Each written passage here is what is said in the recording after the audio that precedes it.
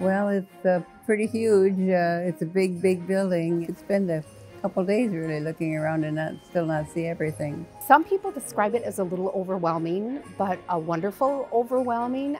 Their eyes get big and they're like, wow, they're surprised how big it is if they've never been here before. The store is the size of one and a half football fields and you're just surrounded by Christmas. I love Bronner's. It has everything you can imagine. It's impossible to not find anything here. Commonly you get questions like, oh gosh, does Christmas music drive you nuts? Do you guys just hate Christmas? And no, it's the total opposite. It is my favorite holiday by far. My father started Bronner's in 1945. It Actually, was kind of like an accidental thing. Uh, he was a window trimmer and he was also a sign painter at the time. He was in Bay City, Michigan, doing a display window for uh, Jennison's hardware store. And while he was decorating the windows, some uh, city officials from the city of Clare, Michigan came into the hardware store and then they were asking the staff at the hardware store, hey, we'd like to buy some of the decorations like you have out in the window. And they said, well, we don't sell Christmas decorations. Go talk to the guy trimming the window. The next year, Clare came back and wanted a repeat order. They enjoyed them so much, so Wally thought, well, maybe there's a market for something like this.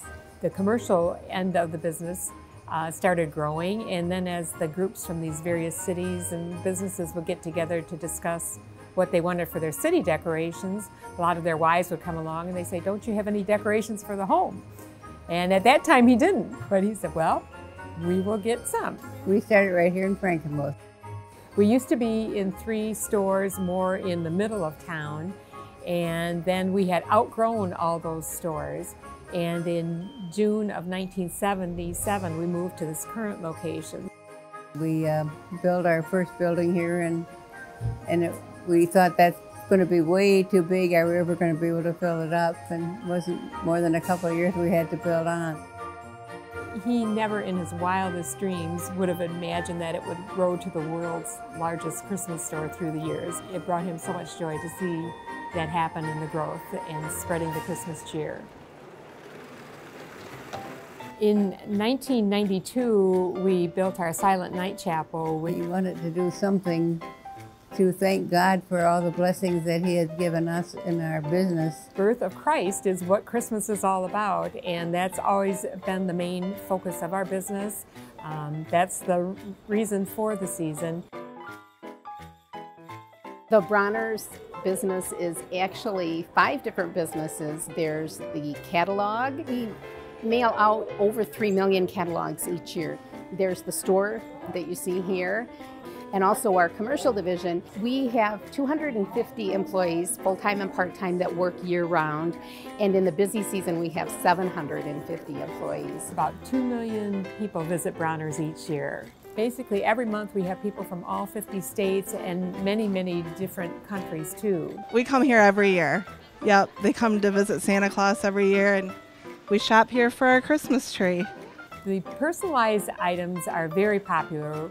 There's many items um, that you can have your names put on with ornaments or stockings and that type of thing. Wally started personalizing ornaments back in the 60s. They had a party for the families of the staff and he would personalize the ornaments for the children. And people said, why don't you start offering those in the store? My name is Mason Lewis and I work here at Bronner's as a penner. I means that I will get ornaments like this and I will use an acrylic paint pen to personalize them with a name or maybe a small message to a loved one. I average between 14 to 17,000 a year just myself. I have three kids, so they all get their first ornaments here. We bought a cool one for our first grand dog last year.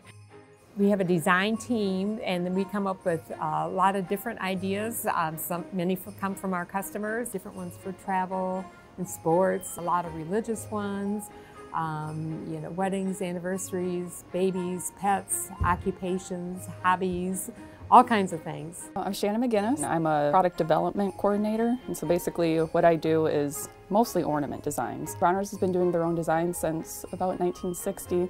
Um, the originator, Wally Bronner, he did a lot of the initial designs. My father, when he was early in the years of the business, shopping at the different trade shows and that, there were not a lot of religious uh, designs available, and so he started, you know, trying to produce a few different religious ones. He was he was very creative. He was an artist, and so he worked with a lot of European companies to try to start these uh, these exclusive designs for Bronner's, and we're very proud to continue his his work. One thing that Wally used to say was what we wanted to accomplish here was to help people decorate their hearts and their homes for Christmas.